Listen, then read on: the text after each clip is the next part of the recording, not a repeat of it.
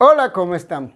Les habla Julián en este tu programa Luz y Sal. Y bueno, aquí estamos reunidos como todos los lunes al pie del cañón para dar esa palabra fresca de la cual siempre compartimos. Y bueno, este título le hemos puesto afán y ansiedad. ¿Y quién de nosotros en algún momento no hemos dicho o quizás escuchado ciertos refranes, tales como del afán no queda sino el cansancio o que madruga, Dios le ayuda. O por ahí me di cuenta de otro que dice, Dios hace su parte, pero yo creo una ayudadita no le desencante. Todos estos son refranes que estoy seguro algunos de nosotros en algún momento hemos dicho. Mire, es que muchas veces nosotros jugamos a ser Dios y otras pensamos que Dios necesita ayuda. Y bueno, pues, ¿qué tal si vamos a la fuente, o sea, a la palabra, a la Biblia, para ver qué nos dice la palabra? Vayamos a la palabra en Mateo, en el capítulo 6, del versículo 25 al 34. Está un poquito larguito, así que me voy a tomar mi tiempo para poderlo leer, ¿ok?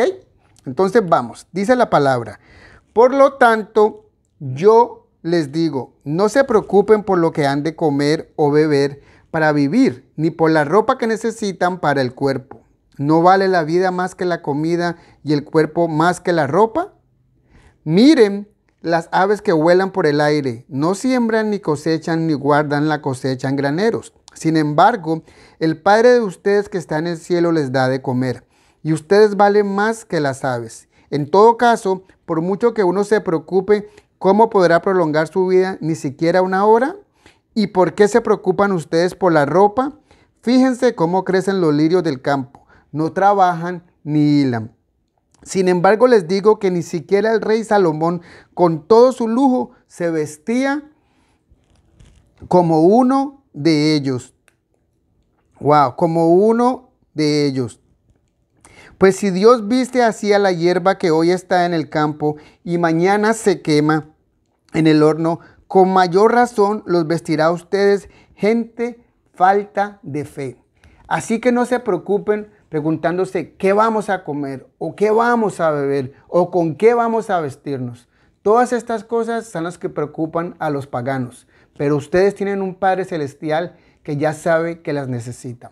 Por lo tanto, pongan toda su atención en el reino de los cielos y en hacer lo que es justo ante Dios. Y recibirán también todas estas cosas. No se preocupen por el día de mañana, porque el día de mañana tendrá su propio afán. Cada día tiene bastante con sus propios problemas.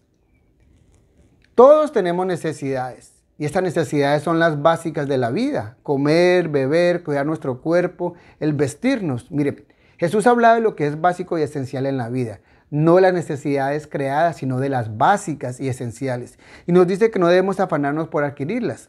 No debemos dejar que las emociones controlen nuestra vida. ¿Tenemos necesidad de ellas? Por supuesto que sí. ¿Y debemos buscarlas y adquirirlas? Claro que sí. Pero sin afán, sin desesperación. Todo a su tiempo.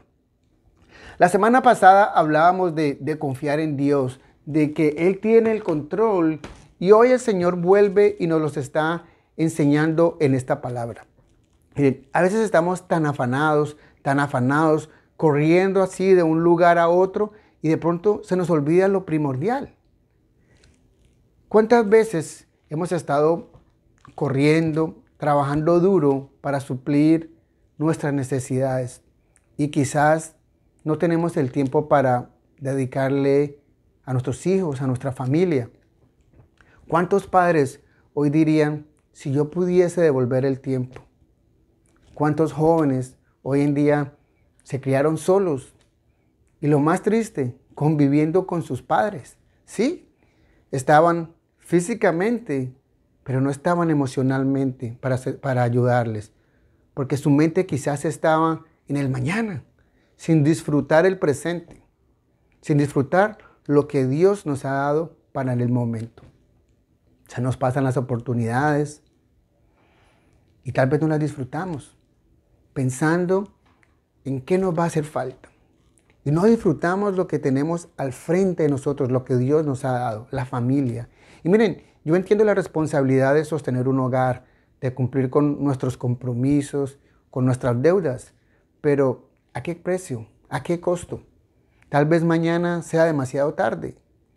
No pongamos las cosas materiales por encima de nuestra familia.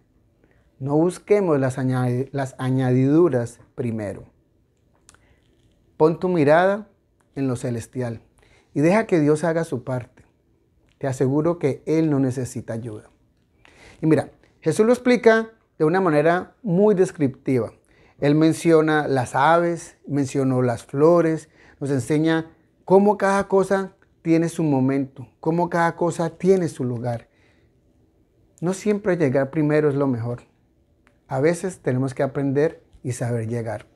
Miren, créanme cuando yo les digo que Dios sabe de que nosotros tenemos esa necesidad y que Él suplirá todas las cosas conforme a su voluntad.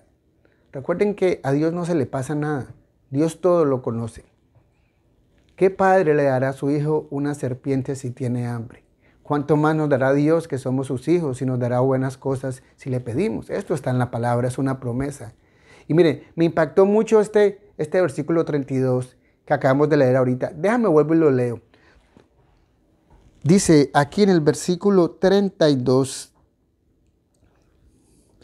todas estas cosas son las que preocupan a los paganos, pero ustedes tienen un Padre Celestial que ya sabe que las necesitan.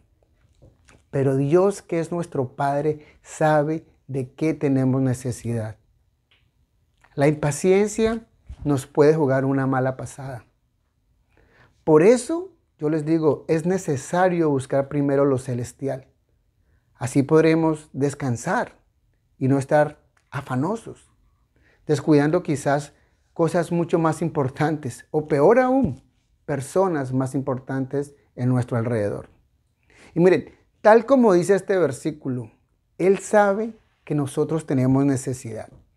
Y si nuestra confianza entonces está en Él, entonces, ¿por qué preocuparnos? Debemos de confiar en Él.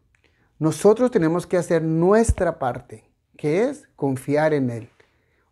Obrar de una manera correcta. Buscar primeramente su presencia cada día en nuestro lugar sagrado, leyendo la palabra. Mire, hay una historia en Lucas, en el capítulo 10, del versículo 38 al 42. Habla de dos hermanas, de Marta y de María. La una afanada y la otra tranquila escuchando al Señor. Y mire, aconteció que yendo eh, de camino entró en una aldea y una mujer llamada Marta le recibió en su casa. Ahora, esta tenía una hermana que se llamaba María, la cual sentándose a los pies de Jesús oía la palabra. Pero Marta se preocupaba con muchos quehaceres y corría de un lado para otro. Y acercándose le dice al Señor, ¿no te da cuidado que mi hermana me deja servir sola? Pues dile que me ayude. Y respondiendo Jesús le dijo, Marta, Marta, afanada y turbada estás con muchas cosas. Pero solo una cosa es necesaria y María ha escogido la buena parte, la cual no le será quitada. Wow, esta parte retumba, la cual no le será quitada. Ella escogió la mejor parte ella estaba sentadita ahí viendo a Jesús, escuchando a Jesús hablar, mientras que Marta estaba preocupada por los afanes. Mire, esta enseñanza nos tiene que abrir la mente. Mientras Marta intentaba agradar a Jesús, organizando la mesa y poniendo todo en orden, María sentada a los pies escuchaba a Jesús. ¿Cuál sería la moraleja en esta, en esta enseñanza de hoy? Cada cosa tiene su tiempo. Cada cosa tiene su momento. Busca a Jesús primero. Deja que Él te ilumine el camino. Busquemos las cosas celestiales y pongamos nuestras necesidades en las manos de Dios. Él tiene el control. Mire, no vivamos afanados, no vivamos angustiados. Y cuando nosotros nos afanamos, entonces ahí se va el dicho del afán solo queda el cansancio porque estamos corriendo de un lado para otro. No, no, no, no, no, mire, no andemos corriendo preocupados por todo. Jesús dice, vengan a mí los que estén cansados y trabajados, que yo les voy a dar descanso. Entonces aprendamos a descansar en el Señor, aprendamos a confiar en el Señor.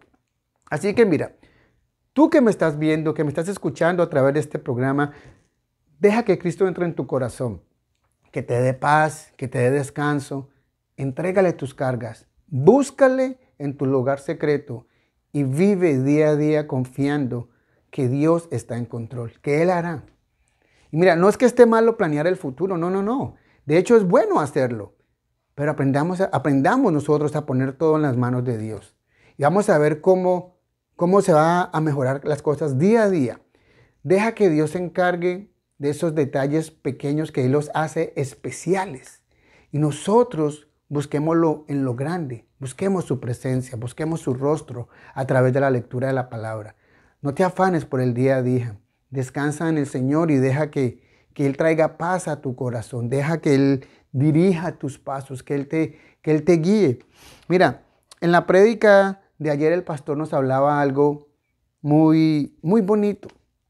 Decimos conocer al Señor, pero no le ponemos cuidado. No lo buscamos de la manera que hay. Hay un libro que se llama la Biblia. Y cuando nosotros venimos a la Biblia, aquí encontramos todas nuestras respuestas. Aquí está nuestro alimento diario. Jesús dice, Él es el pan de vida. Yo soy el pan de vida. El que de mí come no tendrá hambre. El que de mi sangre bebe no tendrá sed jamás. Es aprender a confiar en el Señor. Es aprender a descansar en el Señor. Cuando tú aprendes a confiar en el Señor, no vas a estar corriendo, no vas a tener afán, no vas a tener temor de qué va a pasar mañana, porque Dios está en control de tu vida. Eso pasa cuando lo conocemos. Así que yo te invito a que, a que lo conozcas. Si no has recibido a Cristo en tu corazón, te invito a que lo hagas, pero no lo hagas en un momento de emoción. Hazlo de convicción, convicción, perdón, que tú creas en tu corazón de que hay, de que Jesucristo puede cambiar tu vida, que Él puede transformar tu vida. Búscalo, pídele, órale, dobla tus rodillas y deja que Él cambie tu vida, que Él quite esos temores, esos afanes del día a día. Yo te invito a que lo pienses, a que lo medites, a que lo busques. Y mira, si esta palabra ha tocado tu corazón, tal como lo ha hecho conmigo, te invito a que ahí donde tú estés le des un like o hazle un share si lo estás viendo en Facebook o suscríbete ahí en YouTube en la campanita para que te sigan llegando las palabras que hacemos semanalmente. Y de antemano te doy las gracias por regalarme tu tiempo para escuchar esta palabra. De nuevo, muchas gracias. Te habló Julián en este tu programa Luz y Sal. Chao, chao.